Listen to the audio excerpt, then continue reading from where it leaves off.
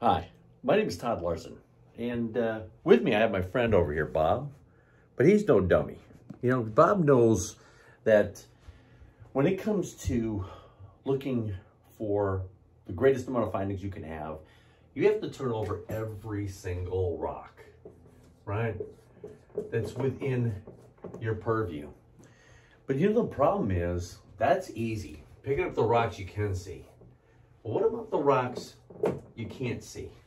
What about the rocks you're unaware of? What about the rocks in your business where there's hidden findings that are costing you money on a daily basis?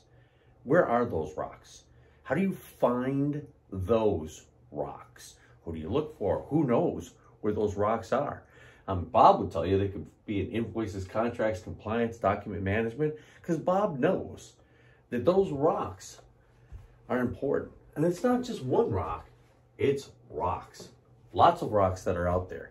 And those rocks come in so many different formats that it's hard to imagine you could put any one single person on that responsibility or they have the time to actually commit to knowing where those rocks are, how to find those rocks, how to find the hidden rocks, and turn them over. And when they do, what do they do?